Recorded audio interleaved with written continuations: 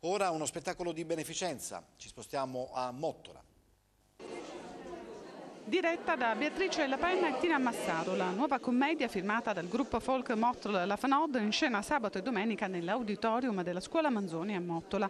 Narra le vicende che riguardano Casa Scarogna in prossimità del Natale in concomitanza con il pensionamento del capofamiglia, un maresciallo dei carabinieri. Diversi gli avvenimenti spiacevoli che si susseguono in casa per una sorta di maledizione. Prima dell'apertura del sipario è stato presentato il costume popolare mottolese realizzato dalla presidente costumista del gruppo folk Maria Lattarulo su indicazioni storiche del professor Vito Fumarola. Il ricavato delle due serate sarà utilizzato per acquistare beni di prima necessità da devolvere ad alcune famiglie bisognose di Mottola.